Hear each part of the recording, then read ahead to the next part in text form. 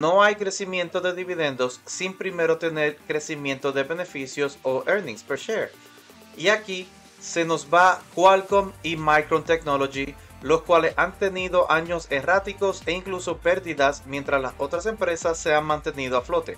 Y hasta ahí llegaron las tres empresas más sonadas en el 2024, así que ahora comienza lo bueno, las verdaderas empresas que nadie está hablando.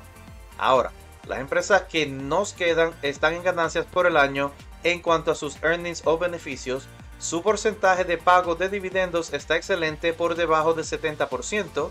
Sin embargo, las mejores rentabilidades las ofrecen Skyworks con 2.50%, Texas Instruments con 2.87% y United Microelectronics con 6.28%.